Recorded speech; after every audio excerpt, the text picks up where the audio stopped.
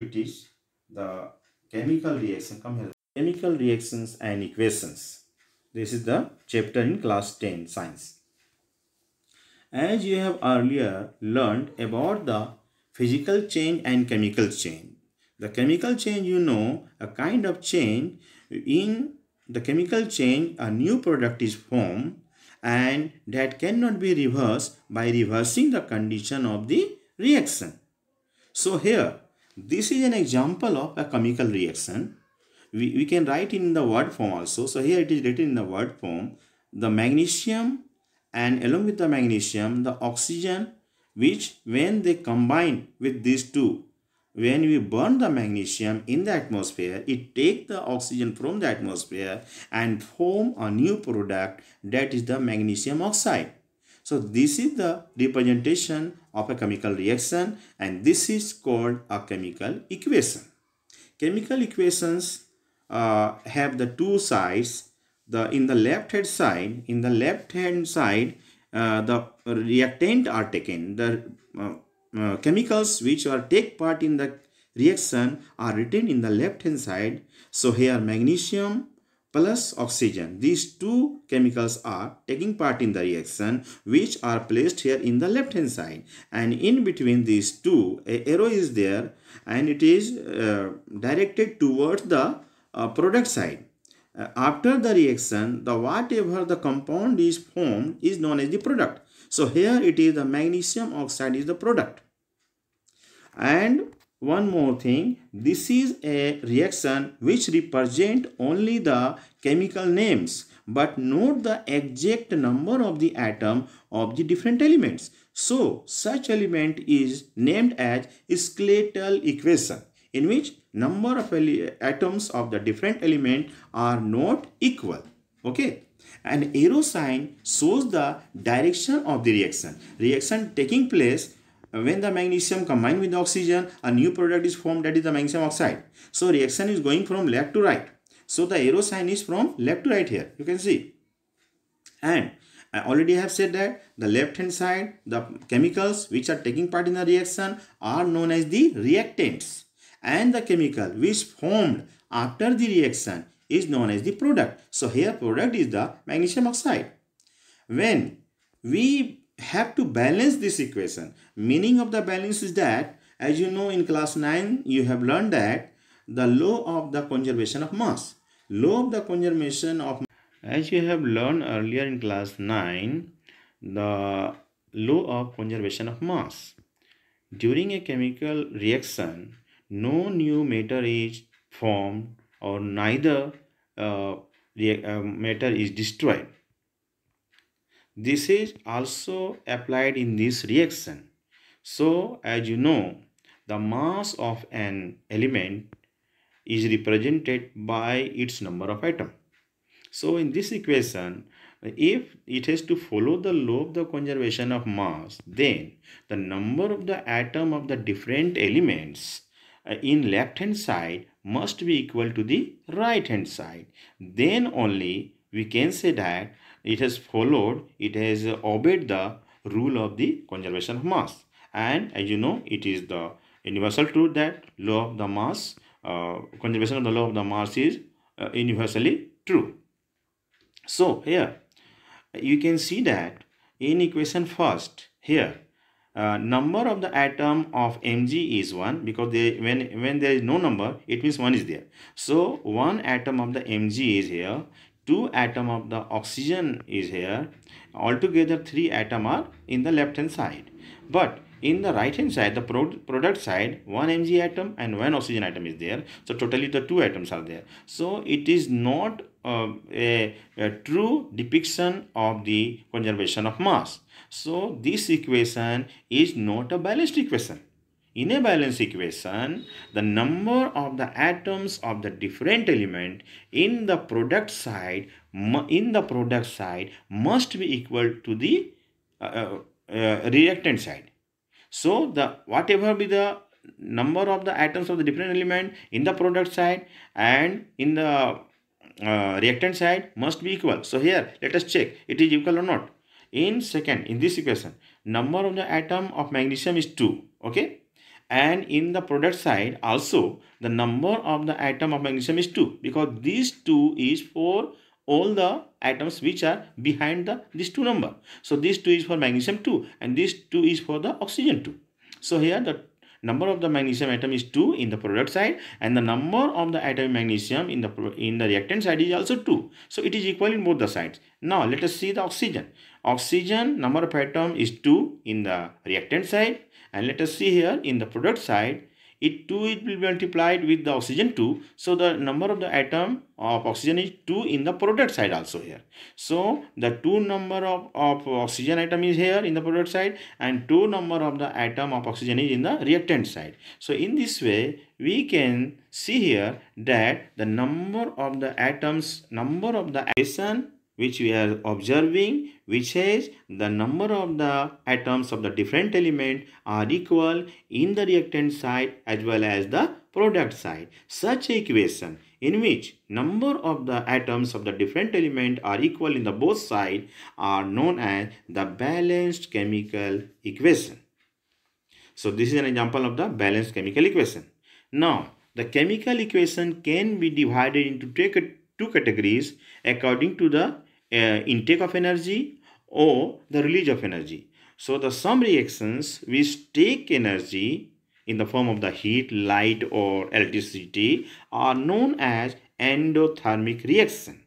In endothermic reaction, during the reaction, energy is required to complete energy is required to complete the reaction. So here, the example one, this calcium carbonate is uh, break down into calcium oxide and carbon dioxide by getting heat. Heat is being given here. So, in any endothermic reaction, heat is given out. Then a reaction in which heat is given out to complete the reactions are known as the endothermic reaction. So, this is the first example of the endothermic reaction. And the second example is here. H2O when it is being electrolyted in a beaker by putting two electrodes uh, of uh, uh, positive and negative uh, sides of electricity then its breakdown into its constituents as you know the water is made up of the two things that is the hydrogen and oxygen so it get breakdown when it's get the electricity Electricity is what? It is the form of the energy. So when it gets the energy, then it breaks down into hydrogen gas and the oxygen gas. So here in this example also, we are able to see that for uh, breaking down of the H2O, electricity is required. So this is also kind of the endothermic reaction because this requires a form of energy. Electricity, as you know, it is a form of energy. And the third example is also there. That is the silver chloride when put in sunlight then it's break down into silver and chlorine gas. This uh, break of the silver chloride into silver and chlorine takes place due to the uh, observation of the sunlight. So here energy is in the form of sunlight and uh, this reaction takes place due to the Uh, uh, receives absorption of the sunlight. So this is also an example of the endothermic reaction. Because all in these three reactions we have seen here the energy is taken in exothermic reaction. As I have already taught you about the endothermic reaction which require energy to complete. There are reactions when that takes place energy uh, uh, evolved in the form of the heat or in the form of light. So the reactions in which heat or another form of the energy is evolved is known as the exothermic reaction. Here example is when we take quicklime uh, along with the water they get reacted and this reaction takes place very vigorously and calcium hydroxide is prepared that is also called the slaked lime and a huge amount of heat evolved so, exothermic reaction are those reactions in which during the reaction a huge amount of the heat is created or heat evolves. So first we have divided the reactions, chemical reactions in two categories. First is the endothermic reactions and second are the exothermic reactions. In endothermic reactions, heat is required to complete the reaction. In endothermic reaction, heat is released by the reaction after the completion of the or during the completion of the reaction. So uh, according to the energy, uh, we have divided the chemical reactions in the two form. Now we are going to discuss the uh, different kind of the uh, uh, first uh, first i will uh, discuss about the balancing of the equation so let us see here a chemical equation is uh, taken it is the ferrous plus h2o the two things are in the reactant side ferrous is there h2o is there. And after the reaction taking place the ferric oxide is formed and the hydrogen gas get liberated. So here in this uh, reaction we have to balance this reaction. And for the balancing of reaction two three things we have to keep in our mind. First we have to break it all the compounds we have to break it all the compounds in the reactant side as well as in the product side. Thereafter we have to search out the which molecule is the biggest one. So here in this equation we can see Fe3O4 is the biggest molecule uh, because it has the seven number of the atoms altogether. The three ferrous atom and the four oxygen atom.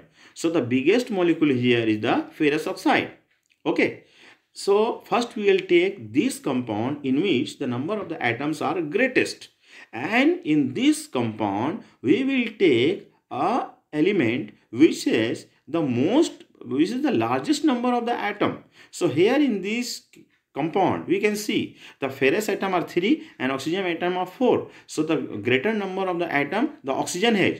So for balancing discuss about the type of the chemical type of the chemical reactions usually there are four types of the chemical reactions first type is known as the combination reaction in combination reactions two or more reactant when take part in a chemical reaction combine together and form one product.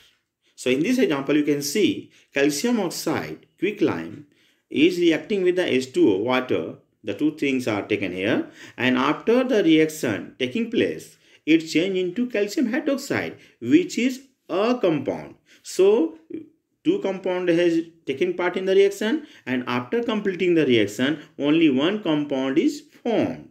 So a reaction in which two or more reactant taking part and after the reaction only one product is formed are known as combination reactions.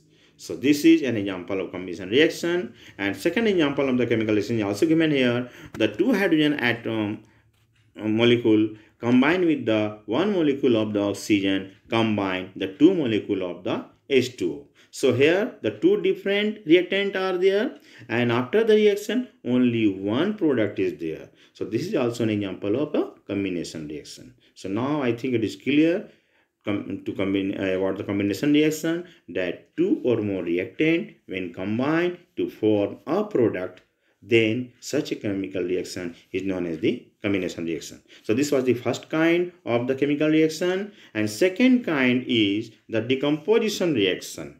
Decomposition means to break down. So in this reaction, one reactant when break down into two or more, one reactant when break down into two or more react products, such a reaction is known as decomposition reaction. In decomposition reaction, energy is required. So here, the example you can see, the ferrous sulfate when uh, in solid form taken and it is being heated then after it is being heated it break down into ferric oxide plus sulfur dioxide gas and sulfur trioxide gas so from one compound from one molecule that was the ferrous sulfate it has broken down into three different compounds First is the ferric oxide, second is the sulfur dioxide, third is the sulfur trioxide. So here we can very easily we can see that one compound has broken down into two, three different compounds. So a reaction in which one reactant broken down into two or more products is known as the decomposition reaction. The second, the second example of the decomposition reaction is here also. You can see the calcium carbonate when being heated, it decomposes into calcium oxide and carbon dioxide gas. So, in a decomposition reaction, very easily you can see that one reactant broken down into two or more products. This is the definition of the decomposition reaction. Now comes the third kind of the reaction that is known as the displacement reaction. In displacement reaction, element which is more reactive that displaces which is more reactive that displaces the less reactive metal from their compounds. As for example in this ferrous taken along with the copper sulfate aqueous and ferrous in the form of the solid. And when they being reacted the ferrous sulfate is formed in aqueous form and copper is being liberated so what we see here? We see here that the ferrous is entered into the compound, the ferrous sulfate, and copper was displaced from the compound. Why? Because ferrous is the more active, more reactive than the copper. So ferrous combined with the sulfate, replacing the copper from the compound. So this kind of a reaction in which the more reactive element displaces the less reactive element from their compounds is known as the displacement reaction. So this is the first example. Ferrous displaces the copper from the copper sulfate and form a new compound ferrous sulfate and copper is being displaced. Then second example is lead uh, reacted with the copper chloride, cupric chloride and after the reaction lead chloride is formed and copper was displaced from the copper chloride. So here also we can see that the lead is the more reactive than the copper. So lead has displaced the copper from its compound and form a new compound, the lead chloride. So these two are the examples of the displacement reaction. The fourth kind, the fourth kind of the chemical reaction is the double displacement reaction. In this kind of the reaction, when the two compounds are taken, then their ions or their radicals exchange their compounds, exchange themselves and form two new compounds. Such a reaction in which the two compounds break down and their ion exchange and new compounds are formed, such a chemical reaction is known as double displacement reaction. Here in example you can see the sodium sulfate react so here is example of the double displacement reaction. Sodium sulfate aqueous combined with the barium chloride and after reaction taking place, the barium sulfate is formed and sodium chloride is formed. So in this reaction very visually you can see that the ions of these two compounds has exchanged their places and the new compound has been formed. So a reaction in which the ions are exchanging their places in the compound and the new compounds are formed is known as the double displacement reaction. And one more kind is there in a uh, reaction in which uh, after the reaction a precipitate is formed is known as the precipitation reaction. So here in sodium sulfate, it is in aqueous in form. It means it is dissolved in the solution. And barium chloride, it is also in aqueous form. It is also dissolved in the so solution. And after the reaction, the two things are formed. One is the barium sulfate, which is in the form of solid, which settle down at the bottom of the beaker in the form of precipitate. So, a reaction in which precipitate is formed is known as precipitation reaction. So, this is the another kind. And now reactions are also defined in the form of oxidation and reduction. Oxidations are those reactions in which when oxygen combine with a uh, matter or with a compound or hydrogen liberated from that compound, this process is known as the oxidation. Here, copper is combining with oxygen forms copper oxide. This is an example of oxidation because oxygen is combined with the copper. And also, if hydrogen will be displaced from any compound, that is also known as the oxidation. And the second example we can see here, the copper oxide reacted with hydrogen, then copper get liberated and H2O is formed. Here we can see that the oxygen from the copper oxide has liberated from the copper oxide and copper liberated. So oxygen gone away from this compound and copper is now separate. So the going away of the oxygen or combining with the hydrogen is known as the reduction reaction. And when this oxidation and reduction process goes on simultaneously in a reaction, simultaneously means together. If in a reaction. Okay, thank you. Today finish the chapter. But one more thing I want to say you that the friends which are not connected now at present you uh, tell to them that the classes are going on and so they also must contact uh, with these classes and uh, get their uh, studies. And one more thing i want to say that follow the rules of the lockdown and remain safe. Okay thank you